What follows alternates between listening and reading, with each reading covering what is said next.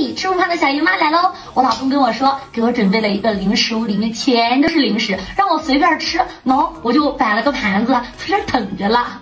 可是我已经等了有二十多分钟了，还没有等到呢，怎么办呀？嘿，他来了，是不是等的不高兴啦？哎，你说让我吃不完的零食，还吃不完，一口都没吃上。你说今天能有什么好吃的吗？珍藏的、舍不得给别人吃的金丝麻花给你留着呢，给你。真的？给我吧。给我递了一个香香，你们猜里面是什么？哇哇，好像有点多了吧？不知道我的盘子上是否能站得下？嘿，还有，掉地上掉了一堆。天哪！好贴心啊！里头的都是单独的独立小包装，这个盒子也是美翻了吧？亮黄色，我今年超喜欢的颜色，是每一个都是这个包装吗？对呀。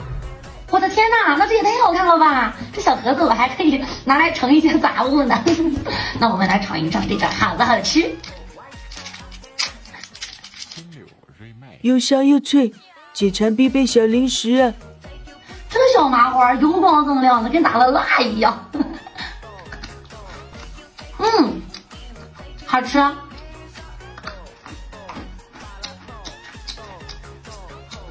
根本停不下来，而且个头好大呀！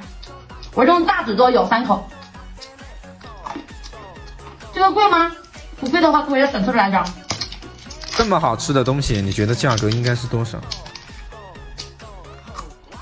谁啊，你要真的好，就再便宜点。不过你们家粉丝宝宝可以给他们加量。好好吃哦，十八块八毛八，这样，直接八块八包邮到家。十八块八毛八，你先别说话，宝贝们好不好？我给你们背上，嗯，五十万，八块八包邮到家。